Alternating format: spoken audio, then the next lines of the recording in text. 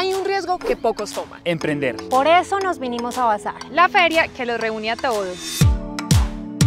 Es inmenso el esfuerzo que deben hacer los emprendedores. Por eso llegar hasta esta feria que resalta lo local, lo de aquí de la tierrita da mucha satisfacción y orgullo. Arriesguense a emprender, generar empleo, hacer crecer este país. Pues realmente nosotros somos una marca pequeña, nuestra marca lleva menos de un año y estamos en una de las ferias de emprendimiento más grandes del país. Hay cientos de retos, pero cuando uno realmente siente que uno puede salir adelante con un buen producto, pues hay que seguir adelante e ir venciendo todos esos miedos y todos esos retos. En total son 410 marcas que hacen presencia en Bazar hasta el 9 de julio. En esta edición, 123 emprendimientos están debutando en la feria y también hay fundaciones. ¿Qué es lo que buscamos con esta tienda? Que las personas al hacer sus donaciones reciban algo a cambio y estos recursos los vamos a utilizar para contribuir a la rehabilitación de una persona con discapacidad. Aquí se puede encontrar de todo, ropa, bisutería, accesorios para el hogar, plantas y muchas, muchas cosas más. Pero, ¿qué piensa la gente de Bazar? Creo que mezcla muy bien la comida, emprendimientos. Por las compras, vengo aquí a gastar por el parche, por el parche, por el parche. Todo muy bueno, pero la experiencia completa y bien vivida tiene que ser con comidita y aquí nos ofrecen un montón de variedad.